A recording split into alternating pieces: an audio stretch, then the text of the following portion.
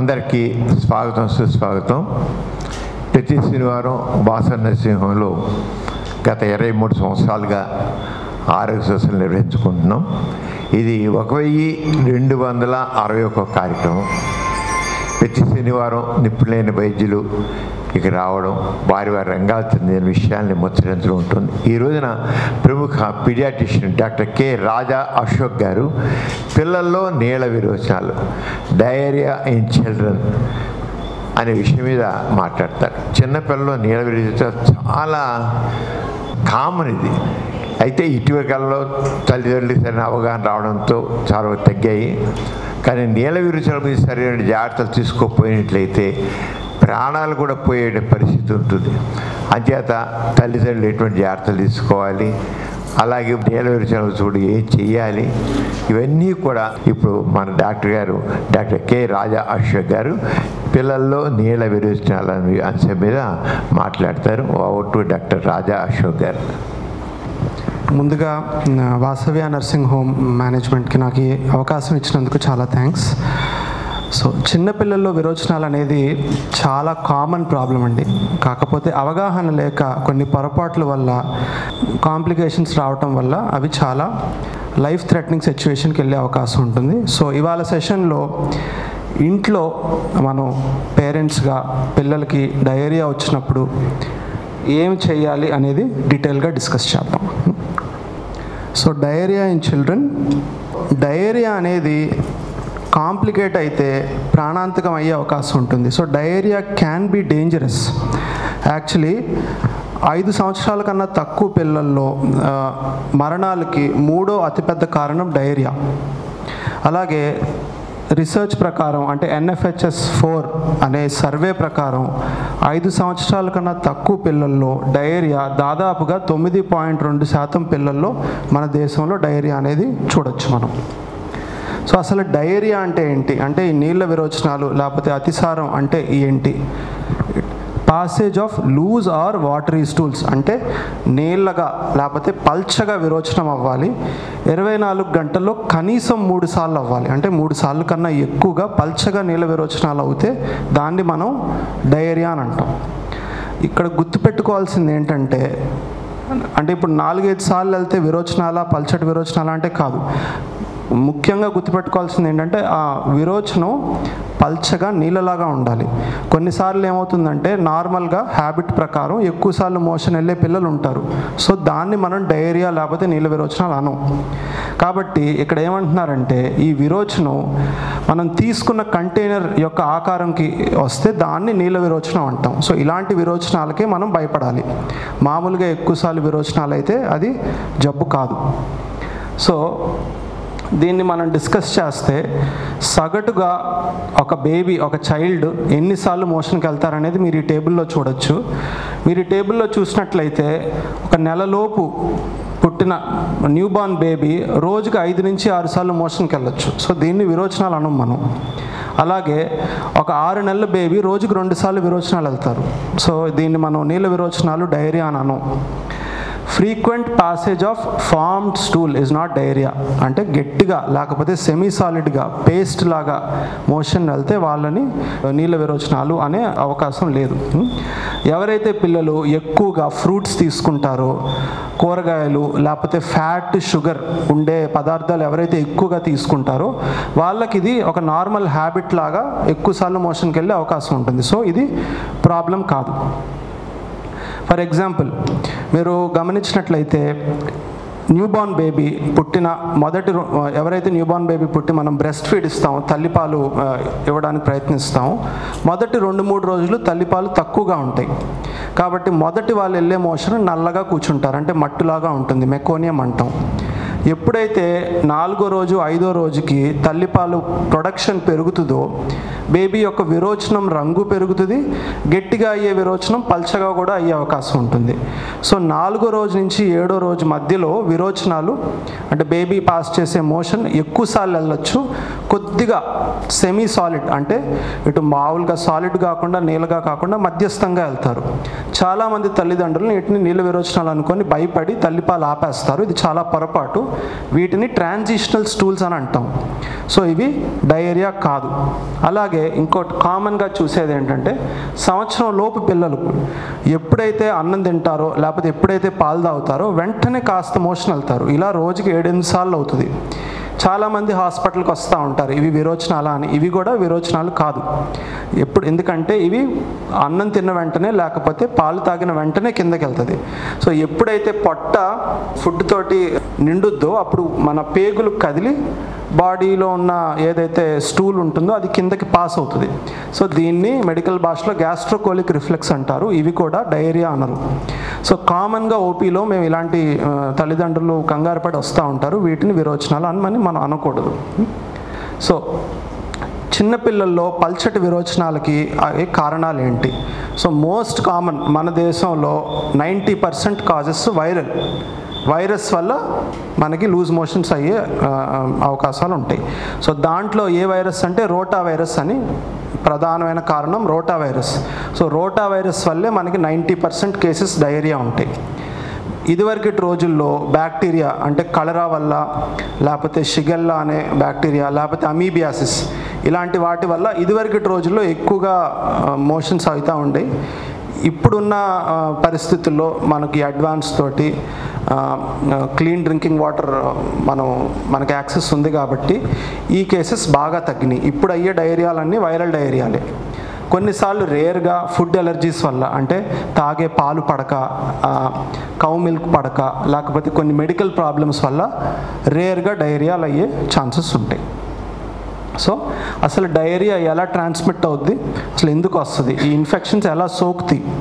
So ఈ transmission అనేది faeco oral route అంటే పరిశుభ్రం సరిగ్గా లేకపోవటం వల్ల మనం తాగే నీరు ప్యూర్గా ఉండకపోవటం వల్ల మనం చేతులు సరిగ్గా కడుక్కోకపోవటం వల్ల లేకపోతే ఈ ఈగలు దాముల వల్ల సో ఈ కంటామినేట్ అయిన ఫుడ్ మనం తీసుకున్నప్పుడు మనకి ఈ డయేరియా వచ్చే అవకాశం ఉంటుంది. సో డయేరియా వచ్చి లూజ్ మోషన్స్ అయితే శరీరంపై ఎలాంటి ప్రభావం పడుతుంది? సో డయేరియా అయినప్పుడు శరీరం నుంచి నీరు మనం లాస్ అవుతాం. ఈ నీటితో పాటు ఎలక్ట్రోలైట్స్ అంటే బాడీలో ఉండే సోడియం పొటాషియం క్లోరైడ్ ఇలాంటి కొన్ని ఎలక్ట్రోలైట్స్ కూడా నీటితో పాటు పోతాయి బయటికి. సో ఇలా పోవటం వల్ల బేబీకి డీహైడ్రేషన్ అయ్యే అవకాశం ఉంటుంది. సో మనకి లూజ్ మోషన్స్ వల్ల డయేరియా వల్ల వచ్చే కాంప్లికేషన్స్ అన్నీ ఈ డీహైడ్రేషన్ రిలేటెడ్ ఉంటుంది. సో ఇది డీహైడ్రేషన్ ఎలా ఆపాలి? సో మన ఈ విషయం మన అందరికీ తెలిసిందే ఓఆర్ఎస్ ఇవ్వాలి. ఎన్నోసార్లు ఎంతోమంది మనకి చెప్తా ఉంటారు లూజ్ మోషన్స్ అయితే ఓఆర్ఎస్ ఇవ్వాలి ఓఆర్ఎస్ ఇవ్వాలి. అయితే ఈ రోజుల్లో ఈ ఓఆర్ఎస్ కూడా చాలా ప్రోడక్ట్స్ వచ్చేసినాయి.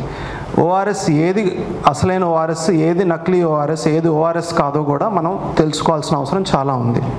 So world health organisation WHO ఏం చెప్తుందంటే ఈ మోతాదులో సోడియం క్లోరైడ్ అంటే ఉప్పు sugar potassium chloride trisodium citrate ఈ మోతాదులో కలిపిన ఫార్ములానే ఓఆర్ఎస్ కింద మనం వాడాలి. సో మీరు గమనించినట్లయితే కాన్సన్ట్రేషన్ కనుక చూసినట్లయితే ఈ ఓఆర్ఎస్లో మనకి సోడియం ఎంత ఉందో గ్లూకోజ్ కూడా అంతే ఉంది. సో ఈ స్పెసిఫిక్గా ఈ మోతాదులో కలిపిన వాటర్నే ఓఆర్ఎస్ అని అంటారు.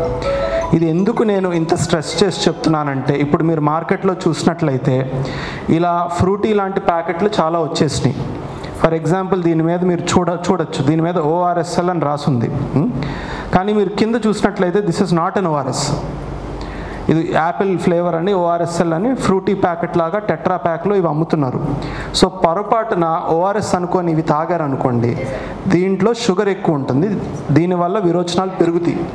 సో మనకి ఇవ ఇలాంటివన్నీ మనం డెఫినెట్లీ వాడకూడదు. సో ఎలాంటివి వాడాలంటే ఇలాంటి శాచెట్స్ అమ్ముతారు మనకి. సో పౌడర్ అమ్ముతారు. ఈ పౌడర్ని మనం నీళ్ళల్లో కలిపితే ఓఆర్ఎస్ మనకి తయారవుతుంది ఆ ఓఆర్ఎస్ని వాడాలి. మీరు దీని మీద గమనించినట్లయితే ఇక్కడ క్లియర్గా రాసుంది. ORS based on WHO formula ఇక్కడ కూడా డబ్ల్యూహెచ్ఓ ఓఆర్ఎస్ సో ఇలాంటి ప్రోడక్ట్స్నే మనం కొని ఓఆర్ఎస్ కింద వాడాలి. రెడీమేడ్ టెట్రా ప్యాక్స్ అంటే ఫ్రూటీ ప్యాకెట్లో అమ్ముతారు.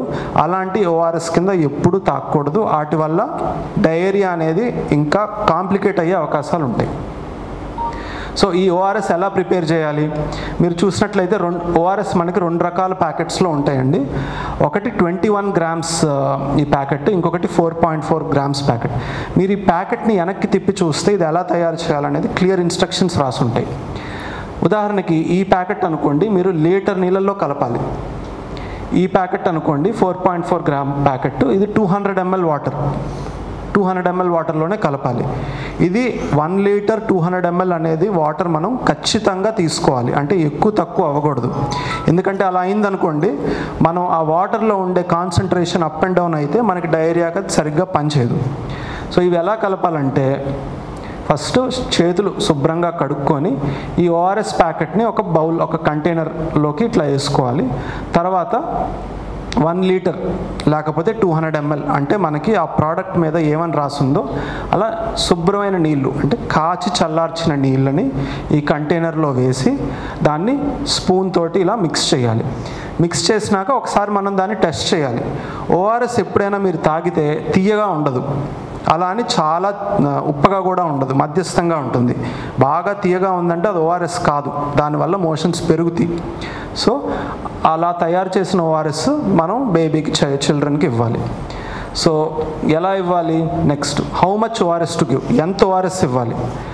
ఎంత తాగగలిగితే అంత. మనం ఎంత ఓఆర్ఎస్ ఇస్తే బేబీకి అంత మంచిది. అప్రాక్సిమేట్గా టూ ఇయర్స్ కన్నా తక్కువ పిల్లలకి గనక మోషన్స్ అవుతున్నాయి. సో ప్రతి లూజ్ టూల్కి రఫ్గా five fifty to hundred ML of ORS ఇవ్వాలి. అంటే one fourth to half cup ORS ఇవ్వాలి. ఒక్కొక్క మోషన్కి ఒక్కొక్క లార్జ్ క్వాంటిటీ లూజ్ టూల్కి అదే టూ టు టెన్ ఇయర్స్ పిల్లల్లో hundred to two hundred ML అంటే half to one large cup ORS ప్రతి మోషన్కి ఇవ్వాలి. ఇది జస్ట్ ఒక అప్రాక్సిమేట్ వాల్యూ మాత్రమే. పిల్లలు ఎంత తాగగలిగితే అంత ఇవ్వచ్చు. ఓఆర్ఎస్ ఎక్కువ ఇవ్వటం వల్ల ఎటువంటి సైడ్ ఎఫెక్ట్స్ లేవు. ఎలాగ ఇవ్వాలనేది కూడా చాలా గుర్తుపెట్టుకోవాలి. ఇప్పుడు చాలామంది మనం అందరం చేసే పొరపాటు ఏంటంటే ఓఆర్ఎస్ ఒక గ్లాస్లో తీసుకొని లేకపోతే బాటిల్లో తీసుకొని ఒకేసారి గట్ ఇచ్చేస్తాం. అలా ఇస్తే ఏమవుతుందంటే చాలాసార్లు మనకి లూజ్ మోషన్స్తో పాటు వాంతులు కూడా అయ్యే అవకాశాలు ఉంటాయి. సో ఇప్పుడు మనం చూసినట్లయితే లూజ్ మోషన్స్ వాంతులు ఒకేసారి వస్తాయి పిల్లలకి. సో అలాంటి పిల్లలు తాగిన ఓఆర్ఎస్ మొత్తం కక్కేస్తారు. అందుకని ఎలా ఇవ్వాలంటే మెల్లిగా ఓఆర్ఎస్ని ఇలా స్పూన్లో తీసుకొని సిప్స్ మెల్లిగా గుటకలుగా స్లోగా బేబీకి ఇస్తూ ఉండాలి. కంటిన్యూస్గా ఇస్తూ ఉండాలి. ఒకేసారి ఇస్తే డెఫినెట్లీ వాళ్ళు వామిటింగ్ చేస్తారు. ఒకవేళ పొరపాటున వామిటింగ్ చేస్తే ఒక పది నిమిషాలు ఆగి మళ్ళీ ట్రై చేయాలి. ఇంకొక ముఖ్యమైన విషయం ఏంటంటే ఓఆర్ఎస్ మీరు ప్రిపేర్ చేసింది ఇరవై నాలుగు గంటల లోపు ఇచ్చేయాలి. ఇరవై నాలుగు గంటలు దాటితే దాన్ని పారేయాల్సి ఉంటుంది. అండ్ ఇంకొకసారి అందరూ కామన్గా చేసే పొరపాటు ఏంటంటే ఇప్పుడు ఓఆర్ఎస్ పెద్ద ఆ, పొట్లాన్ని తీసుకున్నాం మనం. వన్ లీటర్ వాటర్లో ఎందుకు డిజాల్వ్ చేయటం అని ఆ పౌడర్ని సగం తీసుకొని హాఫ్ లీటర్లో చేస్తాం. ఇలాంటి పొరపాటు కూడా చేయలేదు చేయకూడదు. ఎందుకంటే ఆ పౌడర్ కొద్దిగా ఎక్కువ తక్కువ పడింది అనుకోండి ఆ వాటర్లో ఏవైతే ఎలక్ట్రోలైట్స్ యొక్క కాన్సన్ట్రేషన్ ఏదైతే మోతాదులో ఉండాలో అది కనుక ఇటు అటు అయితే మళ్ళీ డయేరియా పెరిగే అవకాశం ఉంటుంది. కాబట్టి ఇచ్చిన ఓఆర్ఎస్ ప్యాకెట్ పూర్తిగా కలపాలి. ఎప్పుడైనా సగం సగం ఎప్పుడు చేయకూడదు. నెక్స్ట్ ఓఆర్ఎస్ కాకుండా వేరే ఫ్లూయిడ్స్ ఏమైనా ఇవ్వచ్చా? అసలు ఓఆర్ఎస్ ఇంట్లో తయారు చేసుకోవచ్చా? ఇది కూడా చాలా తరచుగా మన పేరెంట్స్ అడుగుతూ ఉంటారు. సో బ్రెస్ట్ ఫీడింగ్ అంటే పిల్లలు నార్మల్లీ బ్రెస్ట్ ఫీడ్ చేస్తూ ఉంటారు తల్లిపాలు ఇస్తూ ఉంటారు. చాలామంది ఏమనుకుంటారు ఇలా లూజ్ మోషన్స్ అయితే బ్రెస్ట్ ఫీడింగ్ ఆపేయాలి అని అంటారు. సో ఇది చాలా పెద్ద పొరపాటు. లూజ్ మోషన్స్ అవుతున్నప్పుడు బ్రెస్ట్ ఫీడింగ్ని ఆపకూడదు. Breast feeding should be allowed six months కన్నా తక్కువ పిల్లలు ఎవరికైతే ఓన్లీ కేవలం తల్లిపాలే ఇస్తారో వాళ్ళకి ఇంకా ఎక్కువ తల్లిపాలు ఇవ్వాలి. ఆప ఆపాల్సిన అవసరం అస్సలు లేదు. ఎవరైతే పిల్లలు తల్లిపాలు తాగట్లేదో లేకపోతే ఫార్ములా తాగుతున్నారో వాళ్ళకి ఏదైతే ఫార్ములా ఇస్తున్నారో అదే ఫార్ములాని ప్రతి మూడు గంటలకు ఒకసారి కప్ తోటి ఇవ్వాల్సిన అవసరం ఉంది. సో ఓఆర్ఎస్ బ్రెస్ట్ ఫీడింగ్ కాకుండా ఇంకేమైనా ఇవ్వచ్చా అంటే గంజి. గంజి ఇవ్వటం చాలా మంచిది. వెజిటబుల్ సూపు ఇలా మజ్జిగ ఉప్పేసిన మజ్జిగ నార్త్ ఇండియాలో షికాంజీ అనేది ఇస్తారండి. అదొక నిమ్మకాయ చేసిన రసం. కాకపోతే షుగర్ ఎక్కువ వేయకూడదు మీరు గుర్తుపెట్టుకోవాల్సింది. కొబ్బరి నీళ్ళు కూడా ఇవ్వచ్చు కోకోనట్ వాటర్ అలాగే ఓఆర్ఎస్ని మనం ఇంట్లో తయారు చేసుకోవచ్చు. ఎలా? ఒక లీటర్ నీటిలో త్రీ గ్రామ్స్ టేబుల్ సాల్ట్ మన ఉప్పుని మూడు గ్రాములు. అంటే one level teaspoon eighteen grams అంటే ఆరు స్పూన్లు షుగర్. మిక్స్ చేస్తే ఓఆర్ఎస్ హోమ్ మేడ్ ఓఆర్ఎస్ అయిపోతుంది. కాకపోతే ఈ రోజుల్లో ఓఆర్ఎస్ ప్యాకెట్స్ అనేవి మనకి ఈజీగా అవైలబుల్ ఉంటాయి. చాలా చీప్గా అంటే ఒక ప్యాకెట్ ట్వంటీ రూపీస్ కూడా ఉండదు. వన్ లీటర్ ఓఆర్ఎస్ కాబట్టి మనం ఈజీగా బయట కొనుక్కునే అవకాశం ఉంది. ఇలాంటి మన ఇంట్లో తయారు చేసుకోవాల్సిన అవసరం మనకి లేదు. ఫార్మసీకి వెళ్తే ఈజీగా ఓఆర్ఎస్ ఇస్తారు. గవర్నమెంట్ హాస్పిటల్లో free of cost ORS sachets distribute చేస్తారు. సో ఒకవేళ అలా లేని పరిస్థితిలో మనం ఇంట్లో కూడా ఓఆర్ఎస్ తయారు చేసుకోవచ్చు. సో ఇలా లూజ్ మోషన్స్ అవుతున్నప్పుడు మా బేబీకి ఎలాంటి ఫుడ్ ఇవ్వాలి అనేది కూడా చాలామంది తల్లిదండ్రులు అడుగుతూ ఉంటారు. సో ఫుడ్ ఆపకూడదు. ఎందుకంటే డయేరియా వల్ల ఆల్రెడీ బేబీకి నీరసంగా ఉంటుంది. సో ఫుడ్ ఇంటేక్ అనేది మనకి ఇంకా ఎక్కువ కావాల్సిన అవసరం ఉంటుంది. సో స్మాల్ అమౌంట్స్లో ఫ్రీక్వెంట్గా ఫుడ్ ఇవ్వాల్సిన అవసరం ఉంటుంది. ఎక్కువసార్లు తక్కువ తక్కువ ఫుడ్ పెట్టాలి. ఇప్పుడు ఉదాహరణకు మనం త్రీ ఫోర్ టైమ్స్ ఫుడ్ పెడుతున్నాం బేబీకి ఇలా లూజ్ మోషన్స్ అయినప్పుడు ఒక ఆరు సార్లు పెట్టాలి రోజుకి. కొద్ది కొద్ది కొద్ది కొద్ది కొద్దిగా ఒక ఆరు సార్లు ఎక్కువ సార్లు ఫుడ్ పెట్టాల్సిన అవసరం ఉంటుంది. రైస్ పారిడ్జ్డ్ అలాగే జావా ఇడ్లీ పెరుగన్నం కిచడి బనానా బాగా పండుగ కాకుండా కొద్దిగా పచ్చిగా దోరగా ఉండే బనానా పెట్టే పెట్టచ్చు. ఏవి పెట్టకూడదు? Drinks with lot of sugar. ఏదైనా ఎక్కువ షుగర్ ఉన్న డ్రింక్ తీసుకుంటే మీకు మోషన్స్ పెరిగిపోతాయి. అంటే ఇప్పుడు మాజా ఇలా పల్పీ ఆరెంజ్ స్ప్రైట్ ఇలాంటివి అస్సలు ఇవ్వకూడదు లూజ్ మోషన్స్లో. ఎందుకంటే వీటిలో షుగర్ ఎక్కువ ఉంటుంది. షుగర్ ఎక్కువ ఉంటే మనకి మోషన్స్ ఎక్కువ అవుతాయి. కొంతమంది ఫ్రూట్ జ్యూస్ ఇస్తారు. అంటే మామిడి ఓఆర్ఎస్ తాగట్లేదండి ఫ్రూట్ జ్యూస్ ఇస్తాము. ఫ్రూట్ జ్యూస్లో బాగా పంచదార వేస్తారు. అస్సలు చేయకూడదు దానివల్ల లూజ్ మోషన్స్ పెరిగిపోతాయి. టీ కాఫీలు అసలు ఇవ్వకూడదు. Processed food. మావాడు ఏం తింటంటే ఓన్లీ చిప్స్ తింటాడు లేకపోతే మ్యాగీ తింటాడు. ఇలాంటి వాటిల్లో సాల్ట్ ఎక్కువ ఉంటుంది. దానివల్ల కాంప్లికేషన్స్ వచ్చే అవకాశం ఉంటాయి. కాబట్టి ఇలాంటి ఫుడ్స్ కూడా మనం డైరియాలో అస్సలు ఇవ్వకూడదు. ఓఆర్ఎస్ కాకుండా ఇంకేమైనా మెడిసిన్ ఇవ్వచ్చా? సో ఈ లూజ్ మోషన్స్లో ఓఆర్ఎస్తో పాటుగా ఖచ్చితంగా గుర్తుపెట్టుకోవాల్సింది ఏంటంటే జింక్ మెడిసిన్ ఇవ్వాలి. జింక్. సో జింక్ అనేది టాబ్లెట్స్ ఫామ్లో ఉంటుంది. చిన్నపిల్లలకి సిరప్ లేకపోతే సస్పెన్షన్ ఫామ్లో కూడా మనకి జింక్ అనేది అవైలబుల్ ఉంటుంది. ఈ జింక్ ఎలా పనిచేస్తుందంటే డయేరియా యొక్క డ్యూరేషన్ అంటే ఇప్పుడు ఆరేడు రోజులు అయ్యే విరోచనాల్ని మూడు నాలుగు రోజులకు తగ్గించేస్తుంది. సో అలాగా సివియారిటీ ఆఫ్ డయేరియా విరోచనాలు అయ్యే ఫ్రీక్వెన్సీని తగ్గిస్తుంది. అంటే పదిసార్లు అయ్యేదాన్ని ఐదారు సార్లకు తగ్గిస్తుంది జింక్. ఫ్యూచర్లో అంటే వచ్చే మూడు నెలల్లో మళ్ళీ డైరియా రాకుండా కూడా కాపాడుతుంది. కాబట్టి ఇది ఎంత డోస్ ఇస్తాం? ట్వంటీ ఎంజీ ట్యాబ్లెట్ ఉంటుందండి నార్మల్గా జింక్ లేకపోతే సిరప్ కూడా ఉంటుంది. సో ఒకవేళ ఆరు నెలల నుంచి ఐదు సంవత్సరాల మధ్యలో పిల్లలకి ఒక రెండు వారాలు పద్నాలుగు రోజులు ట్వంటీ మిల్లీగ్రామ్స్ జింక్ ఇవ్వాలి. అదే ఆరు నెలల కన్నా తక్కువ పిల్లల్లో టెన్ ఎంజీ అంటే హాఫ్ ట్యాబ్లెట్ లేకపోతే దీంట్లో పాయింట్ ఫైవ్ ఎంఎల్ అనేది పద్నాలుగు రోజులు ఖచ్చితంగా ఇవ్వాల్సి ఉంటుంది. ఒకవేళ మనకి నాలుగైదు రోజులకి విరోచనాలు తగ్గిపోయినా పద్నాలుగు రోజులు ఈ కోర్స్ కంప్లీట్ చేయటం అనేది చాలా ఇంపార్టెంట్. ఎందుకంటే ఈ జింక్ వల్ల మన పేగుల్లో ఇమ్యూనిటీ పెరిగి బాడీలో ఇమ్యూనిటీ పెరిగి మళ్ళీ విరోచనాలు రాకుండా కాపాడుద్ది. సో అందుకనే మనకి విరోచనాలు ఒకవేళ నాలుగైదు రోజుల్లో తగ్గిపోయినా సరే మళ్ళీ జింక్ అనేది ఫోర్టీన్ డేస్ కంప్లీట్గా కోర్స్ కంప్లీట్ చేయటం అనేది చాలా important. So ORS and zinc ninety nine percent loose motions cases అన్నీ ఈ రెండు మెడిసిన్స్తోనే క్యూర్ అయిపోతాయి. జనరల్గా ఎక్కువ శాతం విరోచనాలు నాలుగు నుంచి ఆరు రోజుల మధ్యలో వాటమ్మట అవే క్యూర్ అయిపోతూ ఉంటాయి. కాకపోతే మీరు గుర్తుపెట్టుకోవాల్సింది ఏంటంటే ఓఆర్ఎస్ ఈ లూజ్ మోషన్స్ని క్యూర్ చేయదు. ఓన్లీ డీహైడ్రేషన్ ఆపుతుంది. మనకి లూజ్ మోషన్స్ తగ్గడానికి జింక్ అవసరం. సో జింక్ వల్ల లూజ్ మోషన్స్ యొక్క డ్యూరేషన్ తగ్గుతుంది. ఫ్రీక్వెన్సీ అంటే నంబర్ ఆఫ్ మోషన్స్ తక్కువ అవుతున్నాయి. ఫ్యూచర్లో మళ్ళీ విరోచనాలు అవ్వకుండా జింక్ అనేది మనకి ఇమ్యూనిటీని ఇస్తుంది. సో ఓఆర్ఎస్ జింక్ రెండు వాడటం చాలా ఇంపార్టెంట్. సో ఇంకొక క్వశ్చన్ అడుగుతూ ఉంటారు మనకి జనరల్గా. మా చైల్డ్కి ఫ్రీక్వెంట్గా తరచుగా డైరియా వస్తుంది. మేము ఏం చేయాలి? ఏం పొరపాటు చేస్తున్నాం? సో ఇలాంటి సిచ్యువేషన్లో మనం ఇంట్లో హైజీన్ అవన్నీ పాటిస్తున్నామా లేదా అనేది ఖచ్చితంగా చూసుకోవాలి. ఇట్లా చేతులు శుభ్రంగా కడుక్కోవటం మనం తాగే నీళ్ళు ప్యూర్ సోర్స్ నుంచి వస్తున్నాయా కంటామినేట్ అయి ఉన్నాయా వాటిని కాచి చల్లార్చి తాగటం లేకపోతే ఇంట్లో ఒక మంచి ఫిల్టర్ని వాడటం ఈ బేబీ యొక్క సరౌండింగ్స్ని క్లీన్గా హైజీనిక్గా ఉంచడం బేబీ యొక్క హ్యాండ్స్ని తరచుగా వాష్ చేయటం టాయిలెట్ టాయిలెట్లోనే మనం డెఫికేట్ చేయటం. ఇవన్నీ డైరియాని ప్రివెంట్ చేస్తాయి. ఇవి కాకుండా బ్రెస్ట్ ఫీడింగ్ ఎవరైతే పిల్లలు కేవలం తల్లిపాలు తాగుతారో వాళ్ళల్లో ఈ నీళ్ళ విరోచనాలు అయ్యే అవకాశాలు చాలా తక్కువ. సో బ్రెస్ట్ ఫీడింగ్ వల్ల బేబీకి ఇమ్యూనిటీ పెరుగుతుంది. సో బ్రెస్ట్ ఫీడింగ్ని మనం ఇప్పుడు ఎంకరేజ్ చేయాలి. నెక్స్ట్ వ్యాక్సినేషన్ మీరు మన వ్యాక్సినేషన్ స్కెడ్యూల్ చూసినట్లయితే రోటా వైరస్ అని ఒక వ్యాక్సిన్ ఉంటుంది. సో మన గవర్నమెంట్ స్కెడ్యూల్ ప్రకారం ఆరు వారాలు పది వారాలు పద్నాలుగు వారాలకి ఈ వ్యాక్సిన్ ఇస్తారు.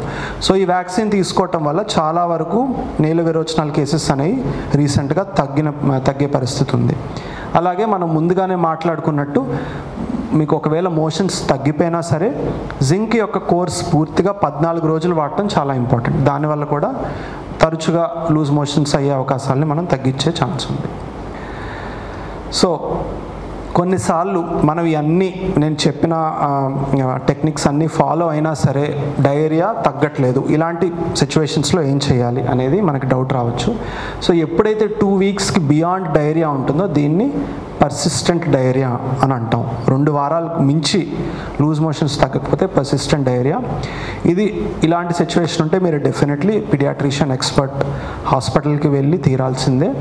కొన్నిసార్లు అన్యూజువల్ ఇన్ఫెక్షన్ వల్ల లేకపోతే పేగు యొక్క లైనింగ్ డ్యామేజ్ అవ్వటం వల్ల కొన్ని అలర్జీస్ వల్ల ఇలాంటి సిచ్యువేషన్ అయ్యే అవకాశం ఉంటుంది. So milk protein allergy lactose intolerance ఇలాంటి సిచ్యువేషన్స్ కామన్గా ఉండవండి. చాలా రేర్గా ఉంటాయి. ఇలాంటి సిచ్యువేషన్లో మీరు ఎక్స్పర్ట్ పీడియాట్రిషియన్ దగ్గరికి ఖచ్చితంగా హాస్పిటల్కి తీసుకెళ్ళాలి. సో మనం ఇప్పుడు డయేరియా డయేరియా గురించి మాట్లాడుకున్నాం. నెక్స్ట్ దీని దీనివల్ల వచ్చే కాంప్లికేషన్ ఏంటి? సో దీనివల్ల వచ్చే కాంప్లికేషన్ డీహైడ్రేషన్ అంటే శరీరంలో నుంచి వాటర్ మరియు ఎలక్ట్రోలైట్స్ లాస్ అయిపోవటం వల్ల డీహైడ్రేషన్ వచ్చే అవకాశం ఉంటుంది. సో డీహైడ్రేషన్ ఎలా గుర్తియచ్చు మనం? సో ఇది గుర్తించడానికి కొన్ని సైన్స్ ఉంటాయి. నార్మల్గా బేబీ యాక్టివ్గా ఉంటాడు. బాగా వాటర్ తాగుతాడు లేకపోతే ఓఆర్ఎస్ తాగుతాడు. సో ఇలా ఎప్పుడైతే డీహైడ్రేషన్ వస్తుందో బాగా రెస్ట్లెస్ ఇరిటబుల్ చిరాగ్గా ఎప్పుడు ఏడుస్తూ ఉంటాడు. ఈ ఐస్ కళ్ళు అనేవి గుంటల్లోకి సంకెన్ ఐస్ అంటాం. లోపలికి వెళ్ళిపోతాయి కళ్ళు. అలాగే బాగా దాహంగా ఈగర్గా థర్స్టీగా నీళ్ళు తాగుతూ ఉంటాడు. ఇంకొకటి మీరు పొట్ట మీద ఇట్లా స్కిన్ పించ్ అంటాం. అంటే చర్మాన్ని మనం ఇట్లా తీసుకొని ఇలా వదిలితే అది వెంటనే వెనక్కి వెళ్ళిపోవాలి. ఎవరైతే పిల్లలకి డీహైడ్రేషన్ ఉంటుందో ఆ స్కిన్ పించ్ చేసినప్పుడు చర్మం మనం ఎలాగైతే దాన్ని ఏ ఆకారంలో అయితే మనం దాన్ని లాగుతామో అదే ఆకారంలో ఉండిపోతుంది వెనక్కి వెళ్ళదు. సో ఇలాంటి ఎప్పుడైతే వస్తాయో బేబీకి డీహైడ్రేషన్ అవుతున్నట్టు మనం గుర్తియచ్చు. సో డీహైడ్రేషన్ని కూడా డబ్ల్యూహెచ్ఓ ప్రకారం no dehydration some dehydration severe dehydration అని మూడు um, క్లాసిఫికేషన్ మూడు రకాలుగా క్లాసిఫై చేస్తారు. సో నో డీహైడ్రేషన్ అంటే ఇలాంటి పిల్లల్ని మనం ఇంట్లోనే ట్రీట్మెంట్ ఇవ్వచ్చు. సమ్ డీహైడ్రేషన్ సివియర్ డీహైడ్రేషన్ ఉంటే ఖచ్చితంగా హాస్పిటల్కి తీసుకెళ్ళాల్సిన అవసరం ఉంటుంది. సో మనకి ఎలా తెలుసు? పోనీ ఈ డిహైడ్రేషన్ ఐడెంటిఫై చేయడం మనకి రాదు. సో తల్లిదండ్రులకు మేము ప్రతిసారి చెప్పేది ఏంటంటే ఈ డేంజర్ సైన్స్ మీరు ఎప్పుడు చూస్తూ ఉండాలి. ఎప్పుడైతే మోషన్స్ విపరీతంగా అవుతున్నాయో అంటే పది పదిహేను సార్లు అవుతున్నాయో చాలా హై మోషన్స్ అవుతున్నాయి అలాంటి సిచ్యువేషన్లో. మోషన్స్తో పాటు రిపీటెడ్ వామిటింగ్స్ మా పిల్లాడు five five eight times vomit చేశాడు పన్నెండు గంటల్లో. సో చాలా ఎక్కువ అలాంటి సిచ్యువేషన్లో. బాగా దాహం వేస్తుంది. ఎక్కువ వాటర్ డిమాండ్ చేస్తున్నాడు. అసలు ఏ కొన్ని సందర్భాల్లో ఏమీ తినట్లేదు తాగట్లేదు. హై ఫీవర్ వస్తుంది. కొన్నిసార్లు మోషన్లో బ్లడ్ వస్తుంది. లేకపోతే మూడు రోజులు దాటినా కూడా ఇన్నే హై హై మోషన్స్ ఎక్కువసార్లు మోషన్స్ ఇలా అవుతూ ఉన్నాయంటే ఇలాంటి సిచ్యువేషన్లో ఖచ్చితంగా హాస్పిటల్కి తీసుకెళ్ళాల్సిన మనకు అవసరం ఉంది. పిల్లల్లో ఈ డయేరియా లూజ్ మోషన్స్ అనేవి చాలా ఈజీగా ట్రీట్ చేయొచ్చు. కాకపోతే కాంప్లికేషన్స్ అయితే కొన్నిసార్లు బాడీలో సోడియం లెవెల్ తగ్గటం పెరగటం దానివల్ల మెదడుపై ప్రభావం పడటం దానివల్ల ఫిట్స్ రావటం కాంప్లికేషన్ అయి లో బీపీ అవటం ఇలాంటి కాంప్లికేషన్స్ కూడా చూస్తూ ఉంటాం. కాబట్టి ఏమాత్రం అనుమానం ఉన్నా వెంటనే ఒకసారి హాస్పిటల్కి వెళ్ళి పీడియాట్రిషియన్కి చూపిస్తే మీరు ఇంట్లో పీస్ ఆఫ్ మైండ్తో ఉండొచ్చు. అలా సో ఇంకొకటి ఇంకొక క్వశ్చన్ అందరూ అడిగే క్వశ్చన్ ఏంటంటే లూజ్ మోషన్స్ ఉన్నాయి యాంటీబయాటిక్ ఇవ్వాలా? సో మీరు చాలామంది గ్రామాల్లో కూడా చూసినట్లయితే దురదృష్టశాత్తు ఈ డయేరియాకి ఓఆర్ఎస్ జింకు ఇవ్వకుండా ఫస్ట్ యాంటీబయాటిక్ పెట్టేస్తున్నారు. ఇది చాలా చాలా పెద్ద పొరపాటు ఇది. మనం ఆల్రెడీ మాట్లాడుకున్నాం diarrhoea main reason viral virus వల్ల వస్తుంది. సో యాంటీబయాటిక్స్ వైరస్కి పనిచేయదు. సో యాంటీబయాటిక్స్ ఖచ్చితంగా ఇవ్వకూడదు. యాంటీబయాటిక్స్ ఇవ్వాల్సిన రీజన్స్ చాలా తక్కువ ఉంటాయి. సో యాంటీబయాటిక్ ఇవ్వటం వల్ల వచ్చే నష్టాలు ఏంటంటే మన పట్టులో ఉండే గుడ్ బ్యాక్టీరియాను కూడా యాంటీబయాటిక్ చంపేసి యాంటీబయాటిక్ వల్ల డైరియా ఇంకా ఎక్కువ అయ్యే అవకాశాలు ఉంటాయి. కాబట్టి యాంటీబయాటిక్ డైరియాకి ఎప్పుడు వాడకూడదు. మరి ఎప్పుడు వాడాలి అంటే కొన్ని స్పెసిఫిక్ సిచ్యువేషన్స్ ఉంటాయి. ఎలా అంటే ఇప్పుడు మోషన్లో బ్లడ్ ఉంది. సో మోషన్లో బ్లడ్ ఉందంటే అది బ్యాక్టీరియల్ డైరియా అని అర్థం. లేకపోతే కొన్నిసార్లు అమీబియాసిస్తో కూడా అలా రావచ్చు. కాబట్టి డాక్టర్కి చూపించి ఒకవేళ డాక్టర్కి ఇట్లా బ్లడ్ మోషన్లో బ్లడ్ ఉందంటే అలాంటి సర్టన్ స్పెసిఫిక్ సిచ్యువేషన్స్లో మాత్రమే మనం యాంటీబయాటిక్స్ అనేవి లూజ్ మోషన్స్కి మొదలు పెట్టాలి సిమిలర్లీ కొన్నిసార్లు ఈ లూజ్ మోషన్స్ అనేవి ఫీవర్తో కూడా ఉండే అవకాశం ఉంటుంది. ఆ ఫీవర్ వేరే కారణం వల్ల ఉండొచ్చు. అంటే మనకి యూరిన్ ఇన్ఫెక్షన్ ఉండొచ్చు. యూరిన్ ఇన్ఫెక్షన్ వల్ల ఫీవర్ రావటం ఫీవర్ వల్ల విరోచనాలు అవటం. ఇట్లా కూడా జరగచ్చు. అలాంటి స్పెసిఫిక్ సిచ్యువేషన్స్లో మాత్రమే యాంటీబయాటిక్స్ వాడాలి. ఊరికే విరోచనాలు ఉన్నాయి కదా అని యాంటీబయాటిక్స్ అనేది మనం ఇప్పుడు ఫస్ట్ స్టార్ట్ చేయకూడదు. అలాగే యాంటీ డైరియల్ అంటే ఇప్పుడు పెద్దవాళ్ళలో విరోచనాలు వస్తే లోపరమైడ్ అని ఇలాంటి టాబ్లెట్స్ అన్నీ మనం వేసుకుంటాం. చిన్నపిల్లల్లో ఇలాంటివి అస్సలు వాడకూడదు. ఇలా వాడితే చాలా కాంప్లికేషన్ అవుతుంది. మీరు ఇక్కడ ఒక ఎక్స్రే చూడొచ్చు. అలాగే ఒక త్రీ ఇయర్ ఓల్డ్ బాబుకి ఇట్లా మోషన్స్ అవుతున్నాయని పాపం గ్రామంలో హెల్త్ కేర్ లేక వాళ్ళు లోపరమైడ్ ట్యాబ్లెట్ ఇస్తే పేగుల్లో కదలికలు లేక ఇంటెస్టైనల్ అబ్స్ట్రక్షన్ అయిపోయింది. సో ఇవన్నీ చూడొచ్చు. పేగుల్లో మొత్తం ఇట్లా నీళ్ళన్నీ పేరుకుపోయి ఇంటెస్టైన్స్ కదలట్లా. సో ఇలాంటి సిచ్యువేషన్లో కొన్నిసార్లు ఆపరేషన్ కూడా చేయాల్సిన అవకాశం పట్టు అవసరం ఉంటుంది. సో చిన్న పిల్లల్లో ఎప్పుడు ఎస్పెషలీ ఆరు సంవత్సరాల లోపు పిల్లల్లో లోపరమైడ్ లాంటి ట్యాబ్లెట్స్ మోషన్లు తగ్గించే ట్యాబ్లెట్స్ అస్సలు వాడకూడదు చిన్నపిల్లల్లో అదర్ ప్రికాషన్స్ ఏంటంటే విరోచనాలతో పాటు జనరల్గా మనం డైపర్ ర్యాష్ చూస్తూ ఉంటాం చిన్నపిల్లలు. ఎవరైతే డైపర్స్ వేసుకుంటారో సో ఎప్పుడైతే విరోచనాలు స్టార్ట్ అవుతాయో అప్పుడు మీరు ఏదైనా డైపర్ ర్యాష్ క్రీమ్ బేబీకి అప్లై చేయొచ్చు. ఒకవేళ డైపర్ ర్యాష్ క్రీమ్ లేకపోతే మనకి వ్యాజిలిన్ పెట్రోలియం జెల్లీ ఎప్పటి నుంచో వాడేది ఉంటుంది. ఆ వ్యాజిలిన్ పెట్రోలియం జెల్లీ కొబ్బరి నూనె రాసినా సరే డైరియా నుంచి వచ్చే డైపర్ ర్యాష్ని మనం ప్రివెంట్ చేసే ఇది ఉంటుంది. So just take home message చెప్తానండి. What to do in diarrhoea ORS ఇవ్వాలి. హోమ్ అవైలబుల్ ఫ్లూయిడ్స్ ఏవైతే మనం అనుకున్నామో గంజి కోకోనట్ వాటరు ఇవన్నీ ఇస్తూ ఉండాలి.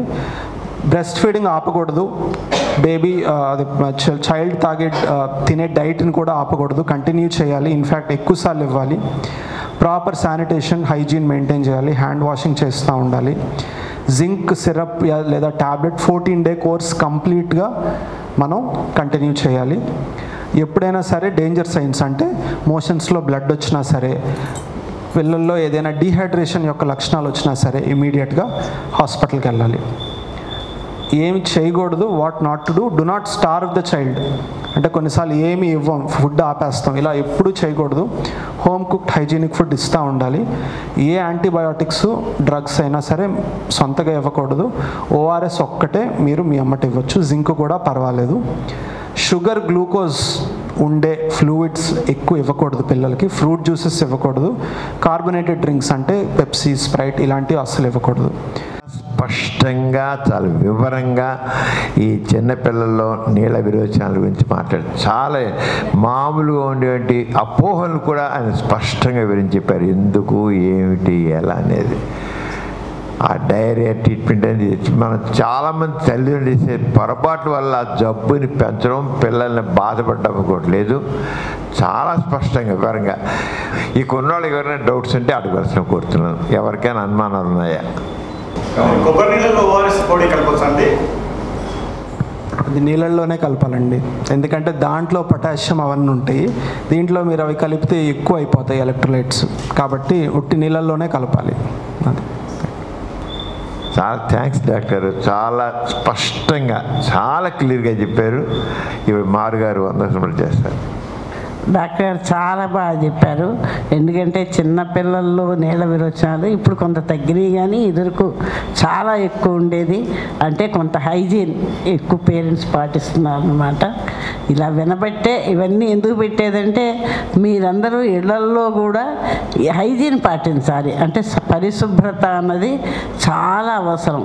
వేసే గుడ్డలు కానీ తాగించేటటువంటి గ్లాసు స్పూను కానీ ఇవన్నీ కనుక మీరు శుభ్రంగా పాటించినట్టయితే పిల్లల్లో నీళ్ళ విరోచనాలు అవ్వకుండా మనం చాలా వరకు కాపాడవచ్చు డాక్టర్ గారు చాలా వివరంగా మనం ఏం చేయొచ్చు ఏం చేయకూడదు కూడా చెప్పారు. మీరందరూ సంటి పిల్లల విషయంలో ఆ రకంగా పాటించండి. ఏమైనా తేడా వస్తే మీరు ఏ నాటు వైద్యాలు చేయొద్దు చేయకుండా ఇప్పుడు డాక్టర్స్ పిడియాట్రిషియన్స్ చాలామంది ఉన్నారు. వాళ్ళ దగ్గర అడ్వైస్ తీసుకోవచ్చు. మన తరఫున డాక్టర్ థ్యాంక్స్ తెలియజేస్తున్నాను. డాక్టర్ చాలా వివరంగా చెప్పారండి. Thank you very much. వచ్చే శనివారం మనం కలుద్దాం. దీంతో ఈ సమావేశం ముగుస్తుంది. Thank you.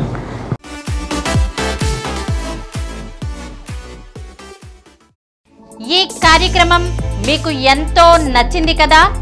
ఇటువంటి మరిన్ని వీడియోల కోసం అనతి కాలంలోనే ఇరవై కోట్ల వ్యూస్ సాధించిన డాక్టర్ సమరం మల్టీ ఛానల్ నెట్వర్క్ సమర్పించు.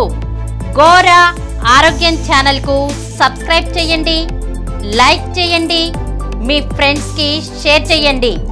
అలాగే ప్రక్కనున్న గంట సింబల్ని ప్రెస్ చేయడం మర్చిపోకండి.